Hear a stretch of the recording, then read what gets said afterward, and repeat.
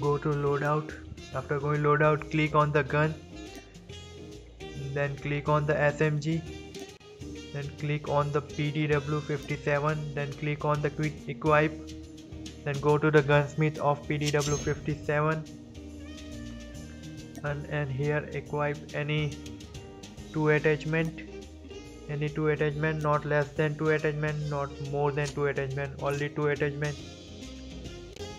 You have to equip I'm acquiring barrel and stock.